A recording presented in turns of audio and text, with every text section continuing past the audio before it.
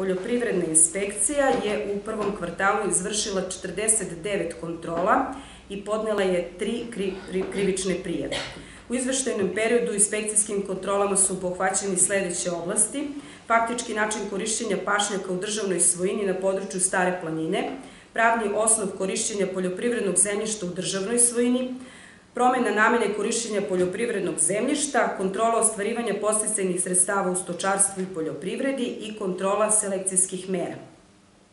Zbog protivpravnog korišćenja poljoprivrednog zemljišta u državnoj svojini, odnosno zbog korišćenja poljoprivrednog zemljišta u vlasništvu Republike Srbije bez zaključenog ugovora o zakupu sa Ministarstvom poljoprivrede, šumarstva i vodoprivrede, podnete su tri krivične prijeve obustavljena isplata posticajnih sredstava u iznosu od 284.000 dinara zbog nepravilnosti uočenih u postupku inspekcijskog nadzora.